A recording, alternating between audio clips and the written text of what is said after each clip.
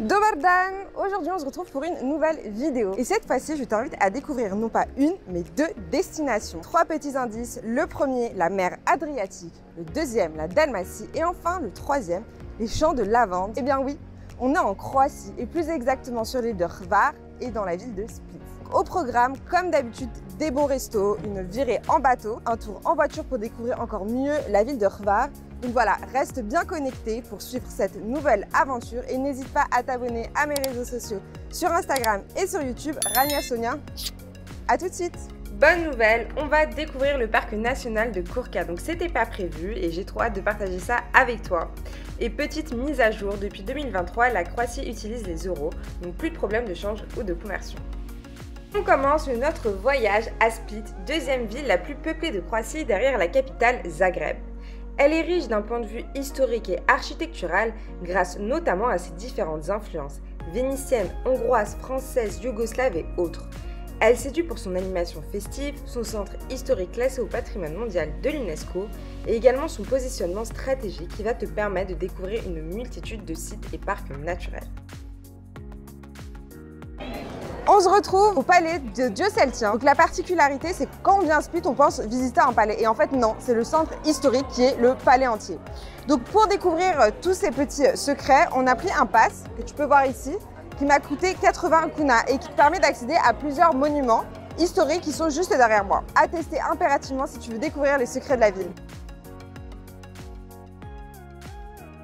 Donc là, on est en train de monter la cathédrale et le mausolée de Joel si je l'ai bien dit. Attention à ta tête quand Ok. Un peu d'exercice et tu vas pouvoir admirer une vue splendide sur tout Split.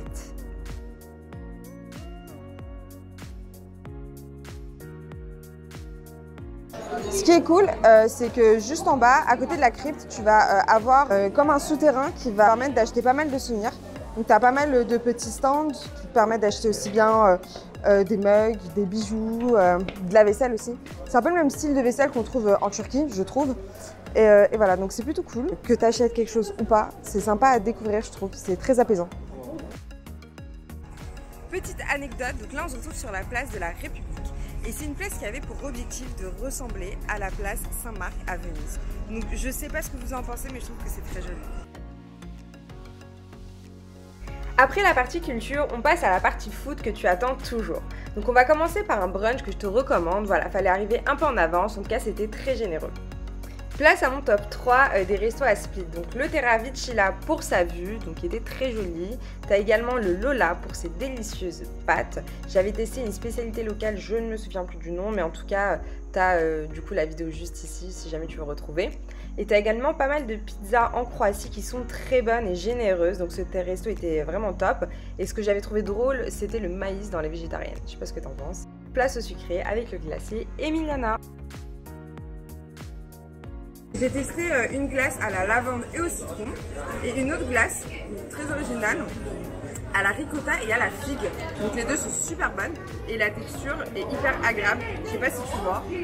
Ce qui est cool à Split l'été, c'est que tu vas retrouver pas mal d'animations. Là, par exemple, on était au Split Park Festival dans lequel on a dîné, on a également euh, dansé et tout. Enfin, très bonne ambiance, euh, je recommande. Sur la place du marché, euh, on est tombé par hasard sur un festival culinaire. Donc je crois que c'est Lala Slefeze. C'est un plat hongrois si je me trompe pas. J'avais trop envie de tester mais on avait dîné juste avant.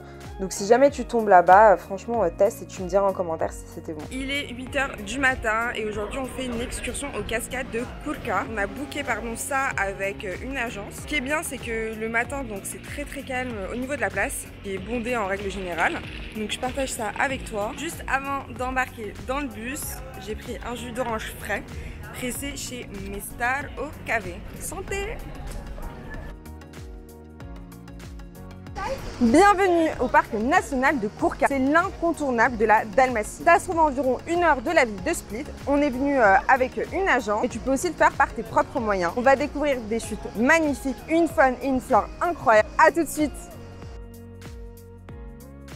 la pika, c'est une manière de cuisiner. Vraiment traditionnel, croate. On va peut-être essayer de déguster un plat si on a le temps avant de partir.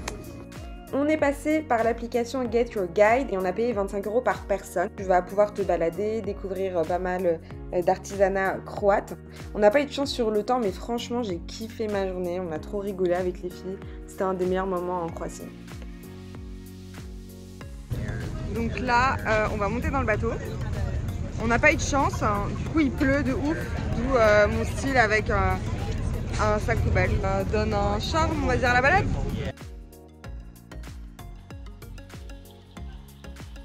Du coup, on devait euh, se baigner à Skradin, donc c'est ce qui était prévu, mais avec le temps qu'on a eu, on a préféré se rabattre sur un plan B. Donc c'est une dégustation de produits locaux. Moi perso, j'ai pu euh, goûter un tout petit peu de fromage et d'huile d'olive. Les filles, quant à elles, ont pu tester du coup la charcuterie et le vin. Elles n'étaient pas hyper fans, je crois. Euh, mais voilà, c'était sympa en tout cas d'être au chaud et je ne me souviens plus du prix. Il est l'heure de changer de destination et direction Rvar, située dans la mer Adriatique. C'est l'une des îles les plus touristiques de Croatie. On a pris un ferry qui nous a coûté 120 kuna, soit 16 euros par personne. On se retrouve sur l'île de Hvar, le Saint-Tropez croate. On va vraiment avoir une architecture qui va te faire penser à Venise, mais également au sud de la France. T'as plein de bars sympas, de restaurants hyper chics et trop cool. Euh, T'as également beaucoup d'activités à faire sur l'île, et donc ça c'est un bon point, c'est également super propre. Et c'est quelque chose qui m'a vraiment étonnée en me disant que tout le monde venait ici faire la fête, et bah c'est super propre et c'est nickel. Voilà, je t'invite à t'y rendre. Par contre, il faut vraiment faire attention. C'est un peu le Saint-Tropez croate, du coup c'est assez cher.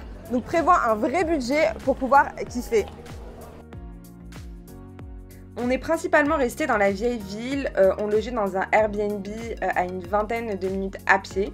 Donc c'est l'endroit idéal euh, pour se promener, chiller dans des petites rues pittoresques. Tu vas également pouvoir faire du shopping, grignoter, boire un verre, donc c'est vraiment très sympa. Tu as également des accès à la plage, donc dans le centre-ville ou un peu plus loin, de manière un peu plus excentrée. Te conseille des bières en plastique par exemple. Ça permet d'aller dans l'eau, faire mal. Et si t'aimes faire la fête, tu vas retrouver des bars et des boîtes de nuit, donc ça c'est plutôt cool, euh, que ce soit entre amis ou en famille. Bonne nouvelle, tu vas super bien manger à Harvard. Donc là, je t'ai fait une petite liste de mes restos coup de cœur. Et euh, c'est vraiment une gastronomie qui va te rappeler euh, l'Italie, donc avec des super pâtes, des risottos. On a également euh, cet aspect méditerranéen avec le poisson et l'huile d'olive. On a euh, testé euh, une spécialité locale, donc la konoba, qui était très bonne et que je te recommande de goûter aussi. Et, et voilà, donc on a super bien mangé. Un conseil, réserve tes restos parce qu'il y a toujours beaucoup de monde. Et aussi attention, tout n'est pas ouvert toute la journée. Donc n'hésite pas à vérifier les horaires.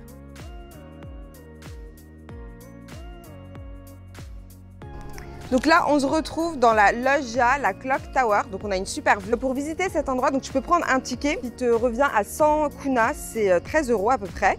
Et donc tu peux visiter la forteresse espagnole, l'Arsenal et le théâtre qui sont juste ici, donc derrière moi. Euh, c'est au même emplacement, euh, ouais, à peu près là, voilà. Et euh, la forteresse espagnole, donc je vais essayer de me tourner doucement pour pas euh, te faire mal à la tête lors du visionnage de cette petite vidéo. Tac, tac, tac. Et voilà, juste derrière moi, quelque part par ici, tu as la forteresse espagnole. Donc je trouve que c'est euh, très correct pour le prix, donc euh, 13 euros sans kuna. Ça te permet de visiter pas mal d'endroits, d'avoir des superbes vues. Et euh, notamment, on a une vidéo de présentation de la ville de Hvar euh, qui t'apprend beaucoup beaucoup de choses sur euh, cette ville. C'est un peu en dessin animé et je trouve ça top. Donc voilà, je te recommande vivement de faire ça quand tu viens ici. Pour les curieux, tu vas retrouver des QR codes un peu partout qui vont euh, t'expliquer l'histoire de certains lieux, donc c'est super intéressant. Direction la forteresse espagnole, donc il faisait super chaud et pour éviter l'insolation, j'avais pas de chapeau, j'avais rien. Du coup, je me suis retrouvée avec ce petit style, donc euh, je te conseille de préparer quelque chose à mettre sur ta tête. On se retrouve devant la forteresse espagnole de la ville de. Ce qui est trop cool, c'est que tu vas pouvoir avoir une vue sur le centre historique et également sur les îles qui sont juste à côté et que tu peux visiter en bateau. Pour accéder euh, à ce petit poste-là, donc tu dois juste marcher un petit peu à travers la ville. Après, tu as une espèce de balade au niveau euh, des bois, donc c'est trop cool. Et puis tu peux également visiter le fort, donc ça c'est euh, un ticket qu'il faut prendre. Mais en tout cas, juste pour cette vue-là, c'est gratuit et à tester. Qu'il faut savoir, c'est qu'on avait filmé euh, hier euh, au phare. Donc c'était trop cool, la vidéo était trop bien, etc. Et malheureusement, j'avais utilisé mon micro que j'avais mal branché et du coup, bah, il n'y avait pas de son. Donc on a dû la refaire. Enfin bref. J'espère en tout cas que ça t'a plu et que tu eu toutes les infos dont tu besoin.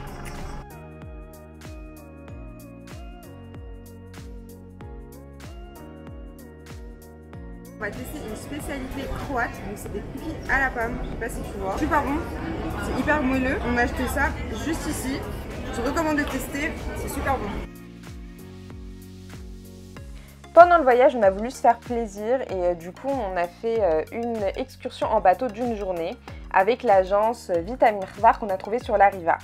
Donc c'était 80 euros euh, par personne et ce qui devait justifier le prix justement, c'était les différentes îles qu'on allait découvrir et les différentes grottes. Malheureusement, on n'a même pas fait la moitié du programme et on avait un guide qui était extrêmement désagréable et qui nous a absolument rien expliqué, ce qui fait que je peux pas te noter beaucoup de choses sur la vidéo puisque je n'ai pas les informations. Donc après euh, de nombreuses négociations, on a été euh, remboursé de 20 euros. Néanmoins, je trouve que c'est euh, une activité à faire. C'était super sympa malgré tout. On a découvert des lieux cool, donc à tester avec peut-être une autre agence, en tout cas à vérifier en amont. je recommande malgré tout. Direction euh, l'attraction marine la plus connue de la région, donc c'est les grottes bleues de Bicevo. On a payé euh, l'entrée 13 euros, soit 100 kuna. Et euh, c'est une curiosité naturelle qui est produite grâce au soleil qui filtre à travers les roches et tu vas avoir une couleur bleue incroyable. Donc on devait en visiter trois autres, malheureusement, comme tu peux le voir, on l'a pas fait. Petit road trip pour découvrir l'île, on a loué une voiture pas loin du centre et on en a eu pour 80 euros plus 25 euros d'essence. Là on est dans la ville de Starigrad, c'est très mignon, ça ressemble quand même euh, au centre-ville de Rfa. On a beaucoup moins de montées, c'est plutôt plat, très sympathique. Euh, donc voilà, je vous filme un peu tout pour que vous puissiez avoir un peu une idée euh, si ça vous dit de venir. Starigrad, c'est l'une des plus vieilles villes de Croatie. Elle date de 384 avant Jésus-Christ. Donc c'est très mignon, tu pourras te balader dans le vieux port, découvrir le centre-ville. Tu as également d'anciennes maisons dalmates en pierre, de belles églises et monastères. Deuxième stop, cette fois-ci dans le village de Yesla, donc c'est une petite station balnéaire très charmante. Tu vas retrouver de très jolies places. J'ai vraiment bien aimé et on a déjeuné dans le restaurant Murvika. Donc c'était super bon, euh, hyper chaleureux et j'ai perdu mon guide du routard. Donc j'étais un peu deg, mais je pense qu'il a kiffé l'ambiance, du coup il a voulu rester là-bas. Et dans ces environs, tu vas retrouver plusieurs plages aux eaux cristallines. Hello, on est en train de descendre euh, direction la plage. L'île de Rfar, ce qu'on observe, c'est surtout des plages de galets. Euh, donc c'est bien d'avoir des chaussures adaptées, pas pour nager ou même pour, euh, rejoindre en fait les plages. Ça fait un peu randonnée, un peu comme à, Cassis, je sais pas, enfin à Marseille dans les Calanques. C'est un peu ce même esprit pour apprécier l'eau, la plage, etc. Faut faire un peu de sport avant. Du coup c'est ce qu'on fait actuellement.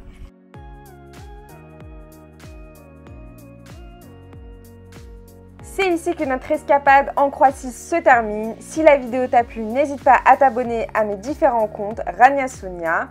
Je t'invite à liker la vidéo, la partager et la commenter. A très vite pour de nouvelles aventures.